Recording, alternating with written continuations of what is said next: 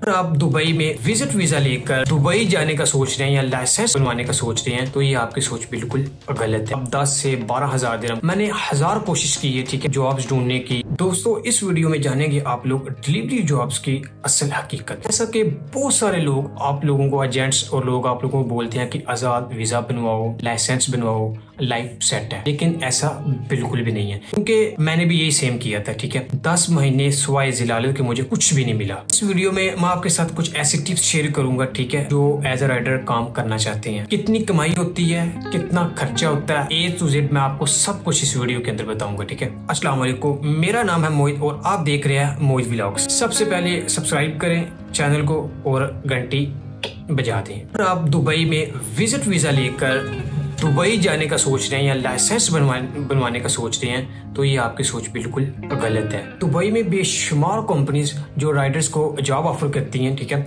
वो आज़ाद वीजे वालों को बिल्कुल भी नहीं ले रही। जो पुराने लोग वहाँ पे मौजूद हैं या वो सेटल हैं, उनकी अलग बात है। सो आप किसी की बातों में आकर या एजेंट की बातों में आकर अपने पैसे मेहरबानी होगी कि जाया ना करें।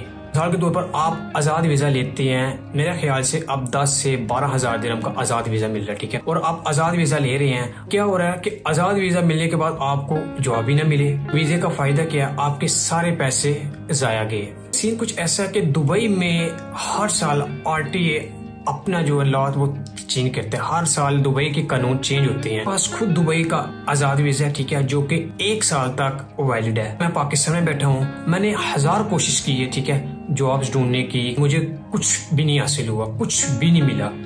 मैं जिस कंपनी के पास भी मतलब जॉब के लिए जाता हूँ, ठीक है, वो कह रहे हैं कि अपना वीज़ा कैंसिल कराओ, हमारी कंपनी का वीज़ा लो। अगर मैं अपना आज़ाद वीज़ा कैंसिल करवाता हूँ और कंपनी का वीज़ा लेता हूँ, दस, वो भी मेरे ख्याल से दस बारह हज़ार दिन का मिलेगा, ठीक है, और वो भी मुझे दोबारा से दस से बारह हज़ार दिन खर्चने पड़ेंगे।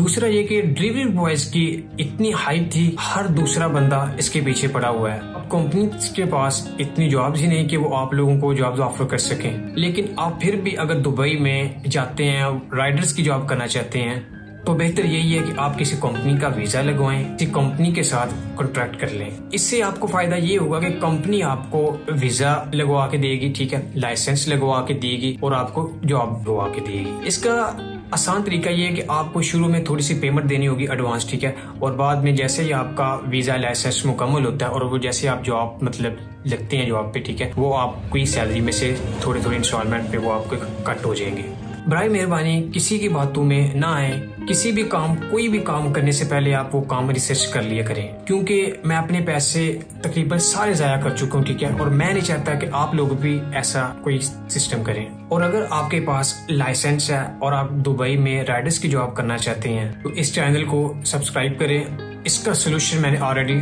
ढूंढ लिया है, जो मैं खुद करूँगा और आपके साथ शेयर करूँगा। तो सब्सक्राइब करना मत भूलें। मिलते हैं अगली वीडियो में।